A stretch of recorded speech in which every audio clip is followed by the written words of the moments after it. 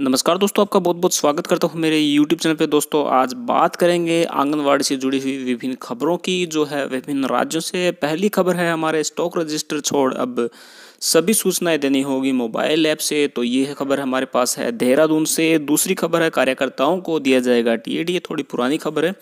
और ये जुड़ी हुई है हरियाणा से। तीसरी खबर हमारे पास है, अतिरिक्त मानदेय के लिए कमेटी गठित करने के आदेश। ये खबर हमारे पास है झारखंड से। जो हमारा वीडियो का स्क्रीन है, उसके साइड में आप फोल्ड स्कोप देख पा रहे हैं। ये काफ़ी यूनिक प्रोडक्ट है। मैंने इसे अमेजोन से ऑर्डर किया है।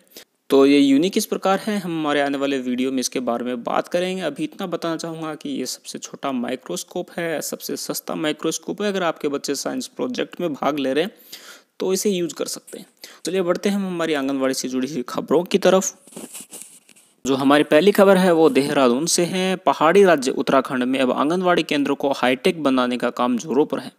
इस दिशा में अब आंगनवाड़ी कार्यकर्ताओं को स्मार्टफ़ोन दिए गए हैं। राज्य सरकार के इस कदम में anganwadi workers common application software के ज़रिए सभी तरह की सूचना एकत्रित कर उनका ऑनलाइन डाटा तैयार कर विभाग को भेजेंगे। तो एक बड़ी खबर है, डिजिटल इंडिया की तरफ़ और ये है देहरादून से। यहाँ आंगनवाड़ी कार्यकर्ताओं को ट्रेनिंग दी गई है। ऐप के बारे में किस प्रकार आपको वर्क करना है, किस प्रकार आपके डाटा फ़ीड करने हैं। साथ ही जो सूचनाएँ हैं, आपको इसी एप्लीकेशन पे फ़ीड करनी है। फ़ीड करके आपको जो अपने विभाग है, वहाँ भेजनी है। तो आगे बताया गया है कि अभी सिर्फ़ नैनीताल में आंगनवाड़ी कार्यकर्ताओं को स्मार्टफ़ोन दिए गए हैं।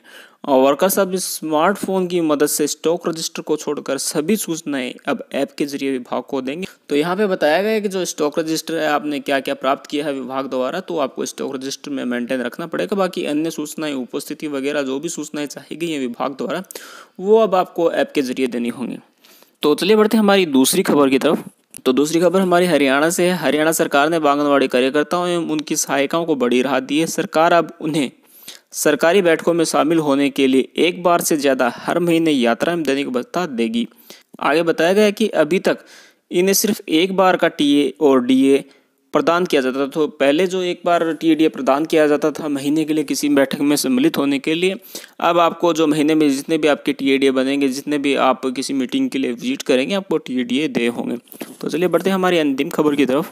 अंतिम खबर में बताया गया है कि मुख्यमंत्री के हस्तक्षेप के बाद आंगनबाड़ी सेविकाओं को उन्नीस दिन से चल रही हड़ताल मंगलवार की देर शाम समाप्त की गई। मुख्यमंत्री ने सेविकाओं के अतिरिक्त मानदेय के लिए विकास आयुक्त की अध्यक्षता में एक कमेटी बनाने के निर्देश दिए। साथ ही महिला पर्यवेक्षकों के पद पर पदोन्नति के लिए उम्र सीमा बढ़ाने, सेवानिवृत्ति की उम्र सीमा बासठ साल करने, उन्हें जीवन ज्योति योजना व प्रधानमंत्री सुरक्षा बीमा योजना लाभ देने के निर्देश दिए हैं। तो ये खबर है झारखंड से, जहाँ मुख्यमंत्री ने सेविकाओं के अतिरिक्त मानदेय के लिए कमेटी गठित करने के आदेश दिए उम्मीद करता हूँ आपका वीडियो को पसंद आएगा पसंद आया तो लाइक करें, शेयर करें।